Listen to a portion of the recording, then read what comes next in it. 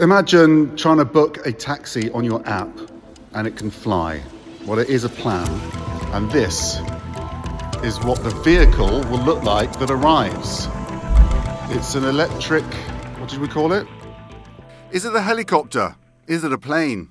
The answer is neither, or rather both. This is VX4, an electric vertical takeoff and landing vehicle, eVTOL for short, built by Bristol based Vertical Aerospace. It's not quite the flying car from the Jetsons, but eVTOLs are likely to be landing in a vertiport near you in the not too distant future. When we talk about it being a flying taxi, you're comfortable with that because in the future you do imagine people calling up one of these instead of a car. Is that right? Yes. eVTOLs can allow us to unlock the third dimension, to use air mobility to get from point A to point B. The VX4 will have a range of 100 miles and a top speed of 150 miles per hour, and it'll initially fly between airports and cities. So the inside, the interior, is designed to the same comfort and roominess of a London black taxi.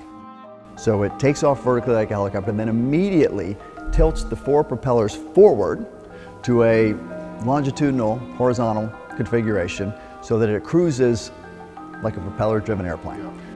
But if it's billed as a flying EV, the first question that came to my mind was about the battery. I Just I can't figure out how you can fit a battery in that that can be powerful enough. Oh, interesting. So it is extremely powerful. So it's the same amount of power as an EC-145 uh, twin turbine engine helicopter.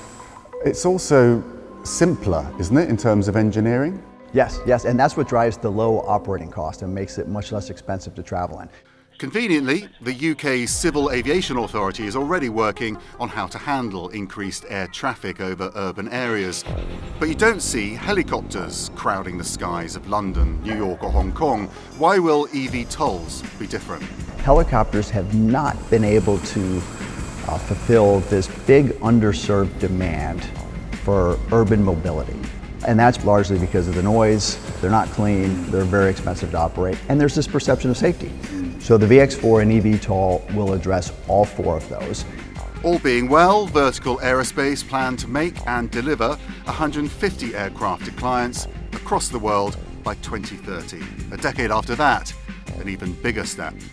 The next step would be the crew member would be supervisor and, and the aircraft would fly itself and then after that we expect it to be fully autonomous. We're going to get there.